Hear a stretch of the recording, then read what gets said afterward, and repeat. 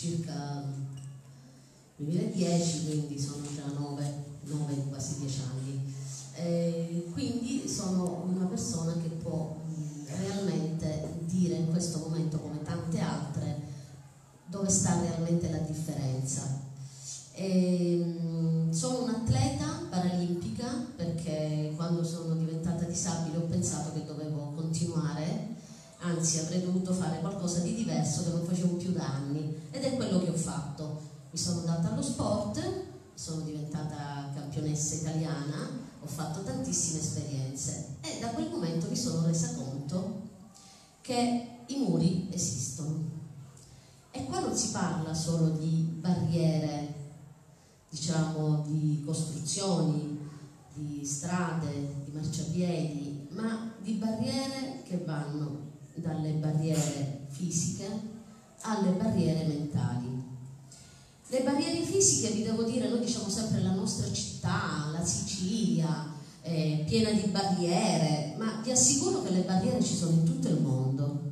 Io ho viaggiato, sono andata ad Hong Kong, non riuscivo a salire nella maggior parte dei negozi perché non hanno neanche gli scivoli. Quindi non è vero che ci si può muovere facilmente nelle altre città, mentre nelle nostre città è il disastro. È vero, quando la mattina si esce sai che vuoi andare, devi andare in un posto e non sai realmente cosa troverai. Questa è un'incognita che ogni disabile ha, ma non solo il disabile che vive in carrozzina, ma anche coloro che si muovono perché hanno delle patologie come la sclerosi multipla o altre patologie che quindi ti danno delle difficoltà proprio fisiche anche a camminare regolarmente o la stanchezza fisica. E cioè, come si va avanti? Si va avanti nella speranza che la nuova generazione possa realmente cambiare qualcosa. Cambiare qualcosa non è facile, lo so, ma la speranza siete proprio voi, perché magari fra tanti di voi ci sarà qualcuno che domani vorrà fare il costruttore. E allora quando dovrà costruire il suo primo palazzo, il pensiero quale dovrebbe essere? È vero, non lo sappiamo se in quel palazzo ci sarà mai un disabile, però se ci sarà uno che abita qui e ha un amico disabile e non potrà mai salire perché l'ascensore non è adeguato per le dimensioni, davanti ci sono le scale. Realmente io ho fatto degli incontri anche con persone che si occupano di costruzioni e mai nessuno ha pensato che ci può essere qualcuno diverso, diverso dagli altri. E quindi l'ideale quale sarebbe? Adeguare, adeguare tutto, adeguare e cominciare dalla nostra città, dove il sindaco ha già cominciato con degli incontri proprio con le persone che sono specializzate del settore, perché è importante poter dare a tutti la possibilità di muoversi come tutti gli altri. Perché vi assicuro non è, non è facile, no? Una volta per esempio mi ritrovo per strada, voglio andare in un negozio e dico, ah guarda, ma dentro c'è un negozio bellissimo, arrivi là e ti scoraggi, ci sono 3-4 gradini, eh, dice come li faccio? Niente, torni indietro. Vai in un centro commerciale? Avete mai provato a passare in carrozzina in uno di questi negozi, De Zenis o varie? Non si passa, ragazzi. Perché ci sono gli stand talmente vicini che per passare, alcune volte faccio tipo, no, avete presente questi percorsi no, dove tu devi fare, entrare, uscire, trovare l'uscita valida? Ecco, la stessa cosa, perché realmente non si passa. Quindi chi fa l'allestimento del negozio non si rende conto e non ci pensa ma io, che sono stata, diciamo, una norma, tra virgolette, me ne rendo conto perché anche io non avevo mai pensato e riflettuto a determinate cose. La barriera che un disabile deve fare la spesa e non arriva allo scaffale in alto, io non avevo mai riflettuto a questa cosa. Ne ho riflettuto nel momento in cui mi sono ritrovata seduta. E allora ho detto, mamma mia, sto facendo la spesa, come vado a prendere? Ragazzi, basterebbe niente, una classica pinza per prendere gli oggetti, messa negli scaffali, ma purtroppo noi sappiamo bene che a Palermo queste cose non si possono fare perché sparirebbe immediatamente. E allora quello che io ho suggerito a diversi negozianti, teniamola alla cassa, il disabile arriva, chiede naturalmente la pinza, la porta con sé, non ha bisogno di, come faccio io ogni tanto, non sto lì nei corridoi che mi sento tipo falchetto, l'avete presente il falco sta là, no? In agguato ad aspettare, no? Dico passerà qualcuno, appena vedo qualcuno vedo uno più bassino, dico no, non lo chiedo, magari vedo una persona anziana dico no, non lo chiedo, poi magari arriva il ragazzo alto e dico ehi vieni qua, fermati, scusami per favore, mi prendi quella cosa lì sopra, dico sembra una cretinaggine ragazzi, ma è la realtà, è la realtà vera, nelle piccole cose non riuscire a raggiungere un posto. E, mm, so, mi rendo conto che per voi è impossibile pensare una cosa del genere, che la mattina vi alzate, prendete l'autobus, salite. Avete notato che per salire in metropolitana i nostri ingegneri hanno sbagliato lo spazio? Cioè se io devo salire devo stare veramente attenta, ma lo stesso con un passeggino, una mamma col passeggino ha lo stesso problema, perché lo spazio che c'è tra il marciapiede e la metropolitana è tanto che il rischio è che le ruote di davanti ti vadano giù, a meno che non sei talmente bravo a impennare e a riuscire a fare la cosa. Altra parentesi, come si fa a imparare ad andare in carrozzina? Bene, anche qui parliamo di barriere. Perché? Mentre al nord Italia, quando tu subisci una lesione spinale o qualche altro problema, ci sono degli ospedali dove esistono dei fisioterapisti che ti fanno dei corsi dove tu impari a utilizzare la carrozzina. Qui da noi non è mai stato organizzato neanche al centro spinale Villa delle Ginestre un corso dove un fisioterapista si metta là di santa pazienza e dica ok, ti spiego come devi usare la carrozzina, c'è un problema, c'è un modo per imparare a impennare per mantenere il baricentro al centro in modo che tu non possa finire nuovamente indietro ma riesci a sollevare le ruote davanti. Se questo non lo fai in un centro specializzato fuori, qui da noi o impari da solo con il rischio di cadere tante volte io per esempio sapete cosa facevo? Mettevo dentro un materassino e provavo. Non vi dico quante volte sono finita giù dietro. Insomma, poi io sono un po' pasticciona, quindi queste cose purtroppo mi succedono. E queste sono delle barriere, delle barriere reali. Poi ci sono delle barriere che vanno oltre, quelle che sono le barriere mentali. Quelle, vi devo dire, dal mio punto di vista fanno più male, perché ci si rende conto che in fondo ognuno guarda a se stesso, non pensa ad altro. Quelle sono quelle che ti feriscono di più, e, ehm, perché ti rendi conto che per quanto le persone sono disposte a fare determinate cose, non tutte le pensano allo stesso modo.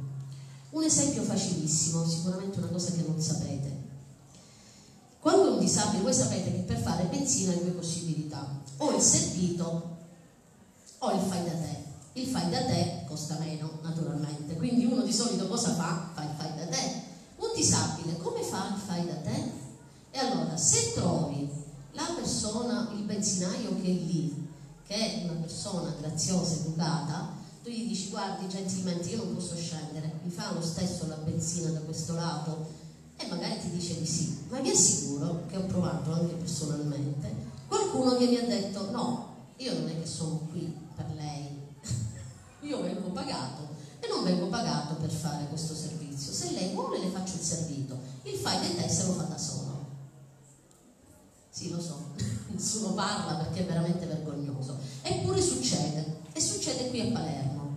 Ma la notizia bellissima, e io mi sono fatta un, eh, una foto su questo perché la Regione Sicilia ha approvato un nuovo regolamento che ancora tutti non conoscono e non sanno, dove tutti i benzinai siciliani hanno il dovere di fare il fai da te al disabile, quindi finalmente il disabile può pagare la benzina meno di qualsiasi altro.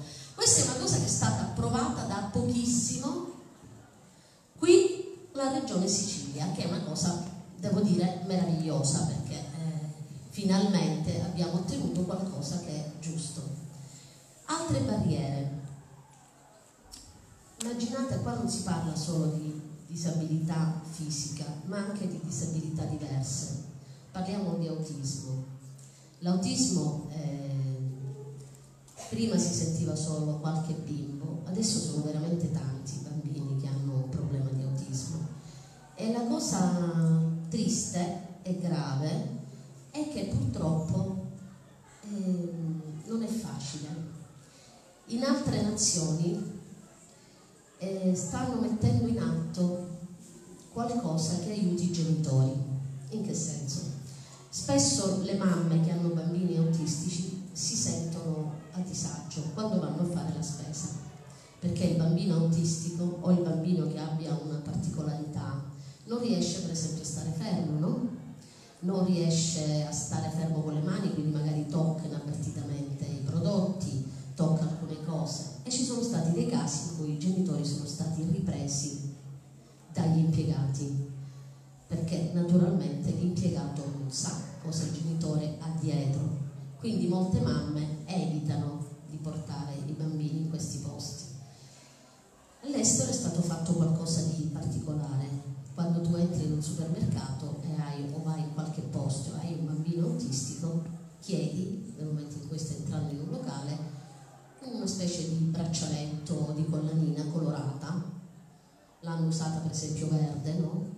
Quindi quando il genitore entra e ha questo bimbo, l'impiegato riconosce immediatamente il bambino con una patologia, con una particolarità e naturalmente in questo modo non viene mortificato il genitore, che è una delle cose più terribili, devo dire, perché poi il genitore in questi casi si sente anche molto a disagio.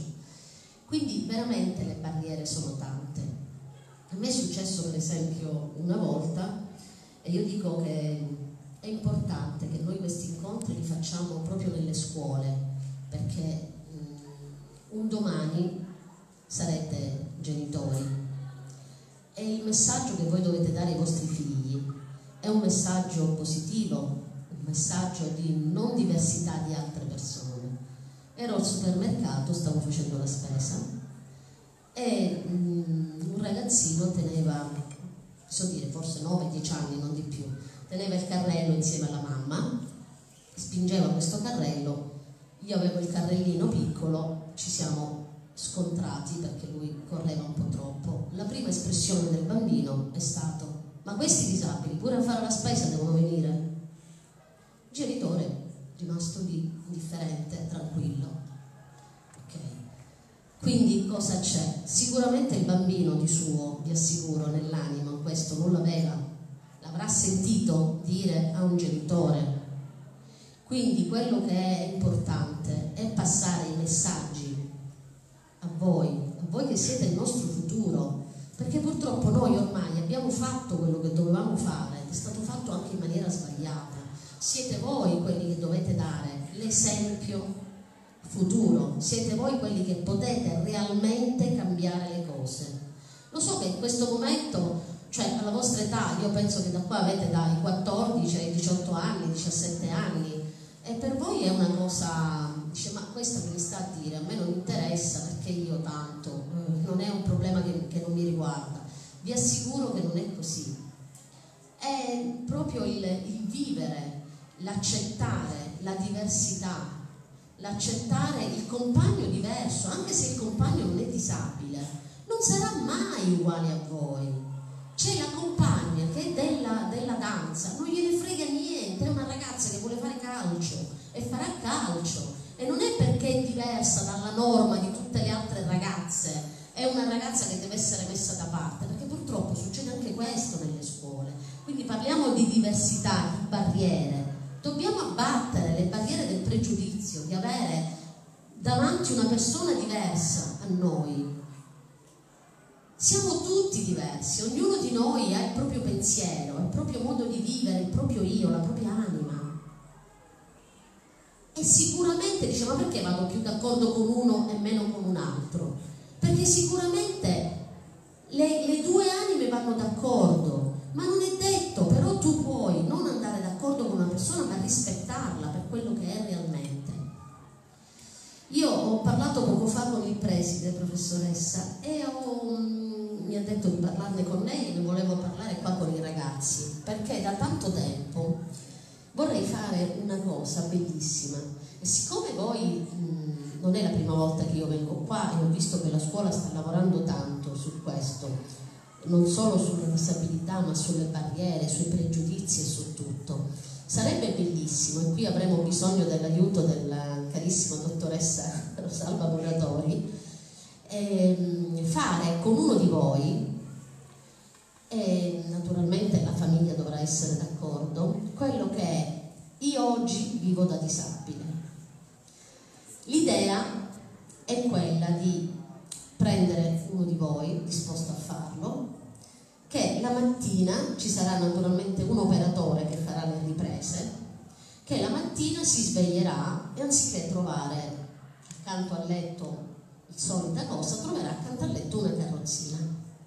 E allora dovrà sedersi, mettersi in carrozzina, andare in bagno, in carrozzina, lavarsi, fare tutto quello che fa di solito un disabile e provare a vivere una giornata piena, andando a scuola, andando a trovare, a vedere gli amici di pomeriggio per pigliarsi una cosa al bar, andare in un centro commerciale, una giornata da disabile, per poi avere a fine giornata il vostro commento, vostro commento che sarà importantissimo perché sarà un messaggio importante. Perché sì, è vero, noi durante l'anno abbiamo fatto delle giornate particolari con il sindaco e altre associazioni, con Antonella Balistreri, abbiamo fatto provare addirittura al sindaco un percorso in carrozzina. Non vi dico perché insomma, veramente da ridere, perché dice oddio come faccio? Quindi tante persone l'hanno provato, ma l'hanno provato come? Per quell'istante, no? Ti ho fatto il percorso, prova a fare il percorso, no? Noi dobbiamo fare di più, dobbiamo far provare cosa realmente significa dalla mattina alla sera. Io faccio l'esempio. Chi di voi ha la patente non lo so ancora, chi già guida, forse ancora loro sono piccoli, però il motorino sicuramente sì, no? Quindi facciamo l'esempio, tu voi scendete la mattina, lo zaino, apri, accendi il motore e via. Per noi non è lo stesso, noi arriviamo, apriamo la macchina, ti siedi e carichi la carrozzina C'hanno male le spalle, le braccia, ragazzi io non so cosa significa stare un giorno senza dolore alle spalle e alle braccia, perché naturalmente se esco ed esco quattro volte in un giorno la carrozzina la carico 4-5 volte. E quindi questa cosa è sicuramente problematica, problematica per tutto quello che c'è dietro. Quindi barriere, cominciamo ad abbatterle veramente, ma abbatterle cominciate voi giornalmente, perché solo così possiamo e soprattutto potete dare la svolta giusta. Perché eh, abbiamo bisogno di questo, abbiamo bisogno delle svolte giuste. Vi comunico per esempio un'altra cosa, perché magari qualcuno di voi avrà qualche disabile in famiglia o qualche, conosce qualche altro ragazzo. Sapete che finalmente a Palermo, a Concadoro, c'è la possibilità per un disabile di poter andare in un negozio, scegliere un capo e provarlo. Perché il direttore di Concadoro ha messo a disposizione dei locali adeguati dove il disabile può provare l'abito che sta comprando. Cosa succede? Vai a un negozio, ci sarà una persona incaricata, verrà, ti prende l'abbigliamento, ti porta nello spogliatoio, tu fai quello che devi fare, ritorni, ti riaccompagnano, se ti va bene lo compri, se no no. Tante volte noi cosa facciamo? Chiediamo al negoziante, guardi, posso prenderlo, poi lo provo, poi eventualmente vado a casa, perché non ti puoi mettere in uno spogliatoio normale, no? Diventa difficoltoso farlo. E questo quindi è già un grandissimo passo avanti. Ogni mese dall'anno scorso, dal 3 dicembre, sono state fatte degli incontri eh, dove si parla di disabilità, dove si parla di barriere e ogni mese c'è stato un incontro dove tutte le associazioni, dove tutti gli assessori relativi ai vari diciamo l'assessore allo sport, l'assessore alla scuola, eh, Giovanna Marano, insomma ha lavorato tantissimo in questa situazione e abbiamo fatto questi incontri dove veramente c'è stato un dialogo aperto con le istituzioni, perché se non si parla con le istituzioni tutto si ferma lì. E, ehm, quindi si è parlato dell'aeroporto, si è parlato di tutte le problematiche che ci sono nella nostra città e non solo, nelle nostre scuole ragazzi, nelle nostre scuole. Anche qui abbiamo le barriere. Come sono state superate stamattina da me queste barriere? Sono state superate con due persone che hanno preso la carrozzina e mi hanno salito. Ecco, quella non era una barriera, perché quei gradini sono stati annullati, quindi la barriera che era reale fisica è stata annullata da una barriera mentale, perché c'è chi era lì ad aiutarmi a farmi salire. Ma dobbiamo arrivare oltre e quello credo che sia la cosa più importante. Io adesso se la professoressa è d'accordo vorrei sapere se qualcuno ha qualche domanda specifica da fare, magari qualche curiosità o qualche cosa